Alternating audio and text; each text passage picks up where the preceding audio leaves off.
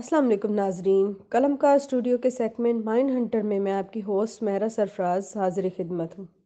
तो नाजरीन, आज हम आपको ऐसी खलाई दूरबीन के बारे में बताएँगे कि जिसे तारीखी खलाई मिशन पर रवाना किया गया था और उसकी तस्वीर भी आप तक पहुँचाएँगे कि किस तरह ये ज़मीन से पंद्रह लाख किलोमीटर दूर खला में इसको छोड़ा गया और इस मंसूबे को तक पाए तक मील तक पहुँचने में तीस बरस और कहा जाता है कि इसे इक्कीसवीं सदी के सबसे बड़े साइंसी मंसूबों में से एक मंसूबा करार दिया जा रहा है। साइंसदानों को उम्मीद है कि जेम्स वेब टेलीस्कोप खला में ढूंढ पाएगी कि जो साढ़े तेरह अरब साल पहले कायनात में सबसे पहले रोशन किए गए थे या रोशन हुए थे। ये देव एकल खलाई दूरबीन कायनात के उन हिस्सों को देखने की कोशिश भी करेगी जहाँ तक हेबल टेलीस्कोप की नज़र भी नहीं जा, जा सकती। इस हवाले से जहाँ साइंसदानों के बारे में ये कहा जाता है कि उनमें जोश और वलवला अरूज पर है, लेकिन साथ ही साथ घबराहट भी ज़्यादा है कि खला तक पहुँचने के लिए जेम्स वेब को पहले एक सत्ताईस मिनट तवील उड़ान सहनी होगी, जो एक कंट्रोल धमाके जैसी होगी। इसी तरह अगर साइंसदान ये चाहते हैं कि ये टेलीस्कोप अपनी पूरी सलाहियत से काम करे तो रॉकेट लॉन्च के तकरीबन 30 मिनट बाद रॉकेट से अलहदा होने पर इसको तीन ऐसे कड़े लम्हा से गुजरना होगा जो इसकी सलाहियत पर असरानंदाज हो सकते हैं। अमरीकी खलाई इदारे के मुंतज़म बिल नेसलन कहते हैं कि एक बेहतरीन मिशन है ये। ये एक बेहतरीन मिसाल भी है कि जब हम बड़े ख्वाब देखते हैं तो क्या तो हम क्या हासिल कर सकते हैं? हमें हमेशा से मालूम है कि ये प्रोजेक्ट ख़तरनाक होगा।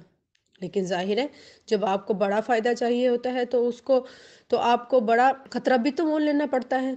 जेम्स सेप्स टेलीस्कोप, मदार में अब तक भेजे जाने वाले सबसे बड़े फल्कियाती आईने का इस्तेमाल करेगी, जिसका कुतर साढ़े छः मीटर है। ये फल्कियाती आईना इतना बड़ा है कि उसे मुकम्मल तौर पर खुलने में दो हफ़्ते तक का वक्त लगेगा।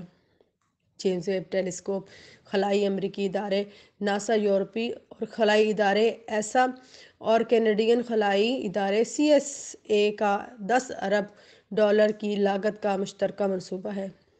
नासा के गोडार्ड स्पेस फ़्लाइट सेंटर के माहिर फल, फल माहिर फल्कियात डॉक्टर अंबर निकोल और स्ट्रोगन कहती हैं कि इस कदर बड़ी और बुलंद नज़र टेलीस्कोप का सबसे दिलचस्प पहलू ये है कि ऐसे बहुत से सवाल हैं जिनको पूछने के बारे में हमने अभी तक सोचा भी नहीं। और ये एक ख्याल कि हम कायनात के बारे में वो चीज़ें जान सकेंगे, जो मुकम्मल तौर पर हमें हैरान कर देंगी। मेरे लिए ये ये इस दूरबीन का सबसे दिलचस्प पहलू है। डॉक्टर अंबर निकोल स्ट्रोगन कहती हैं कि इस टेलीस्कोप को मुकम्मल तौर पर ऑपरेशनल होने और उसकी मदद से पहले तस्वीर देखने में छः माह लग सकते हैं। और एक अंदाजे के मुताबिक वो ये भी कहती हैं कि एक बार जब हम टेलीस्कोप को खला में ले जाएँगे तो उसे खोलने का एक पेचीदा निज़ाम है, जिसके बाद उसे ठंडा होने और अपने फल्कियाती आयनों को तरतीब में लाने और आलात को ऑन करने में महीनों लग जाएँगे। तो सन 2022 के मौसम गर्मा में ही हम पहली तस्वीर हासिल कर सकेंगे। James Webb telescope, Hubble telescope की जगह ले लेगी, जिसे 1990 में नासा ने खला में भेजा था। ये बात वैसे तो बहुत मरतबा कही गई है, लेकिन बहरहाल ये एक हकीकत है कि हेबल दरियाफ्तों की एक मिशन है। एक अंदाजे के मुताबिक सन उन्नीस सौ नब्बे में इस दूरबीन के खला में भेजे जाने से पहले साइंसदानों को ये इल्म नहीं था कि हमारी कायनात दस अरब साल पुरानी है या बीस अरब साल पुरानी। हेबल के ज़रिए किसी रोशनी के मीनार या लाइट हाउस की तरह धड़कने, धड़कते सितारों से इससे यकीनी को कम किया जा सकता है।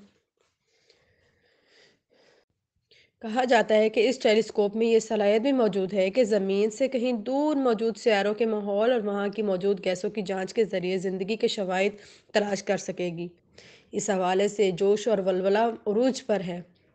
इसी तरह डॉक्टर स्ट्रोगन के मुताबिक इस दूर, दूरबीन से बहुत कुछ हासिल होने वाला है। कायनात के बारे में हमारी मालूम में इजाफ़ा होगा। हमारे इर्द गिर्द मौजूद हर चीज़ के साथ ताल्लुक़ मज़ीद हमारा मज़बूत होगा। डॉक्टर स्ट्रोगन कहती हैं कि जब हम सितारों को देखते हैं, रात के वक्त आसमान को देखते हैं तो मुझे एक ताल्लुक़ का सा एहसास होता है। एक ऐसा एहसास कि हम इस कायनात में तनहा नहीं हैं।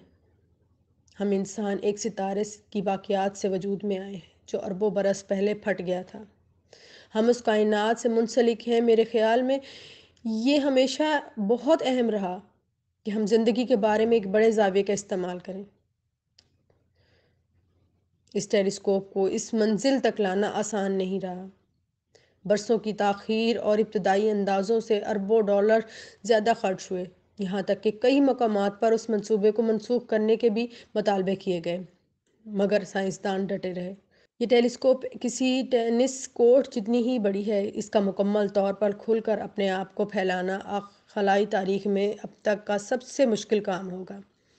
ऐसे तीन सौ से ज़्यादा लम्हात होंगे। जब कुछ भी गलत हुआ तो खेल तमाम, मगर ज़्यादा ख़तरे का मतलब ही ज़्यादा फ़ायदा है। दूरबीन हमें हमारी कायनात, तारीख के हर मरहले के मराहल और हैरान कन मनाजिर दिखाएगी।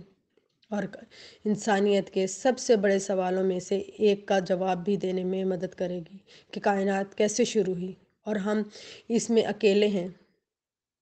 और अगर वेब टेलीस्कोप ये काम कर पाए तो ये बाजी जीती हुई तस्वर की जाएगी।